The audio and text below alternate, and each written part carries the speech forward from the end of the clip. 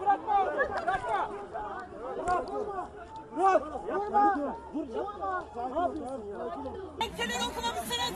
Dilekçelerden haberiniz yok hocam ya. Herhangi bir soruşturma yok. Yol üzerinde mi Koray hocam, Koray hocam geldi. Koray hocam, size verdiğimiz dilekçelerden okudunuz haberdar sitesi var mı? Ege hocamız bilmiyor. Nasıl nasıl olacak bu iş?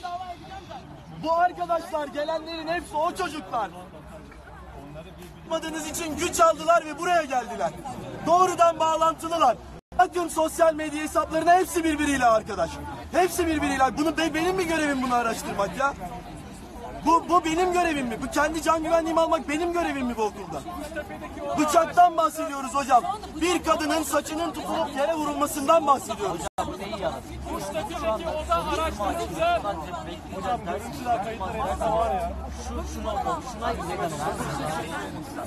Ben so sen bana soruşturmayı açmışsın. Demek ki bıçakla okula girip kişinin kafasını sürtersen okuldan atılmama ihtimalim olduğunu düşünüyorum. Emsal kararlar bunlar emsal çok güzel. Yani böyle düşünmem de gayet normal. Siz de bana bunun sözünü vereceksiniz. Diyeceksiniz ki bıçakla giren bir öğrencinin kafasını yere vuran bu okulda hiçbir şekilde Onları, barınamaz. onları destekleyen yanlarındakilerle birlikte.